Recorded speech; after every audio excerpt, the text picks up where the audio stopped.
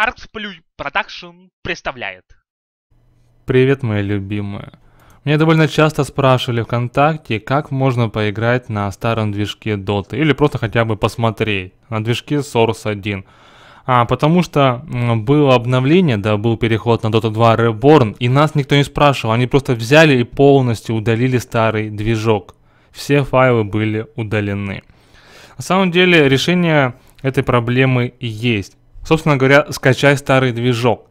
В описании к этому видео я укажу ссылку, там просто скачивайте архив. Сразу говорю, что архив весит много, 8-9 гигабайт, где-то так. Ну, я думаю, за ночь можете скачать. Так вот, скачивайте архив и распаковывайте. Ничего больше делать не надо, ничего настраивать не надо. Смотрите, у вас запущен Steam, да? Под любым логином без разницы. Вы запускаете Dota и все работает как обычно, просто вы играете в Доту. Ну там, само собой, есть одно ограничение, я скажу позже. Смотрите. Все, запускаем. Старый добрый загрузочный экран, мужик. Сколько раз ты мне приснился.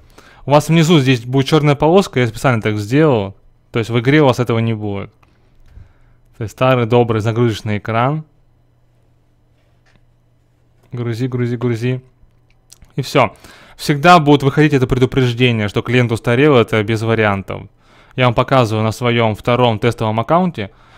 То есть здесь все работает, кроме двух вещей. Вы не сможете играть в обычную игру и рейтинговую. Не сможете по одной причине, потому что а, сервера, они уже перешли на новый движок. Это невозможно реализовать никак. Вы не сможете играть априори.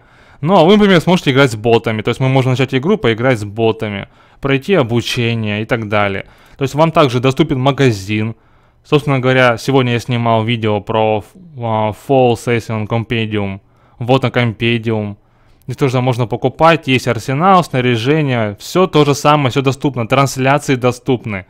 Вы можете загружать любую трансляцию и смотреть ее и так далее. Библиотека сообщества, все доступно. Давайте я вам покажу, сейчас попробуем сыграть с ботами. Я надеюсь, что я смогу записать это. Давайте попробуем.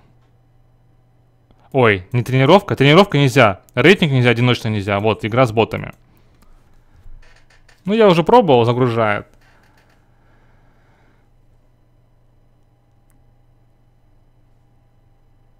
Видите, все прекрасно работает. В первую очередь, я говорю, это полезно будет людям, которые хотят поиграть в старую доту. Вы можете поиграть, например, в нее с друзьями. Будет полезно людям, которые тестируют. То есть посмотри, как работало раньше и как работает сейчас. Вот так вот. Ставьте палец вверх и подписывайтесь на канал.